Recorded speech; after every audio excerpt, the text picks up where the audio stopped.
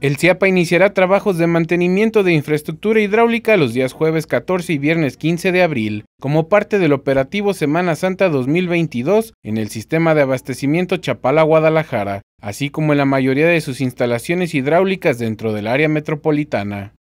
Durante estos días el servicio de agua potable será intermitente en diversas colonias de los municipios metropolitanos dentro del área de cobertura del CIAPA y que pertenezcan al sistema de abasto Chapala-Guadalajara.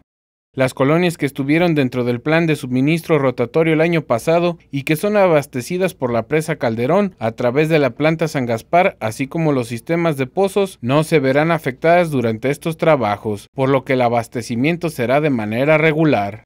Se prevé que la recuperación del servicio de agua potable será gradual y comenzará a restablecerse a partir del sábado 16 y se estima que culmine el martes 19 de abril.